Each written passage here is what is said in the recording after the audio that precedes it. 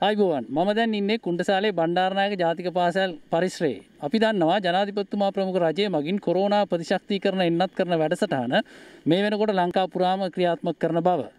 මේ එන්නත් කරන වැඩසටහන යටතේ මහනුවර දිස්ත්‍රික්කයේ සිදු කරන පළමු එන්නත් කරන වැඩසටහන ආරම්භ කරලා තියෙනවා. මේ වෙනකොටත් සැලකිය යුතු පිරිසක් Tamanගේ එන්නත් මාත්‍රාව ලබා ගැනීමට මේ ස්ථානට පැමිණෙන බව තමයි අපිට දකින්න ලැබෙන්නේ. පසුගියදා රුසියාවෙන් ප්‍රධානයක් විදියට අපට ලැබුණු ස්පුට්නික් එන්නත් 50000 තමයි මහනුවර ජනතාව වෙනුවෙන් වෙන් කරලා තියෙන්නේ. ඒ අනුව මේ එන්නත් කරන වැඩසටහන ආරම්භ කළා. මහනුවර දිස්ත්‍රික්කයේ දැඩි අවදානම් සාගත ප්‍රදේශයක් විදියට හඳුනාගෙන තිබෙන කුණ්ඩසාලේ සහ මණික්කින්න ප්‍රදේශවල ජනතාව සඳහා තමයි පළමු දිනේදී එන්නත් කරන්නේ සිදු කෙරෙන්නේ. අපි දැන් රැඳී ඉන්න මේ කුණ්ඩසාලේ බණ්ඩාරනායක විද්‍යාලයට අමතරව පිළවල මහා විද්‍යාලයේදීත් මේ එන්නත් කරන වැඩසටහන ක්‍රියාත්මක කරනවා.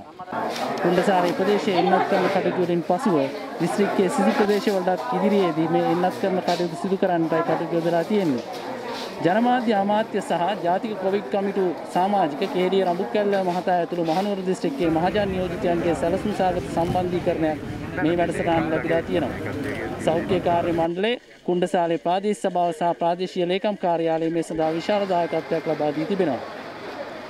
වැඩසටහන සාර්ථක කර ගැනීමට මධ්‍යම පළාත් සභාව සහ මානුවර දිස්ත්‍රික් ලේකම් කාර්යාලයත් විශාල දායකත්වයක් ලබා දී තිබෙනවා. නදීක දයා බණ්ඩාර මනුෂිකා හේරත් සමග බණ්ඩාරනායක ජාතික පාසල් පරිශ්‍රයේ සිට මම තනුජා බේසේකර මහනුවර දිස්ත්‍රික් මාධ්‍ය ඒකකයේ වෙනුවෙන්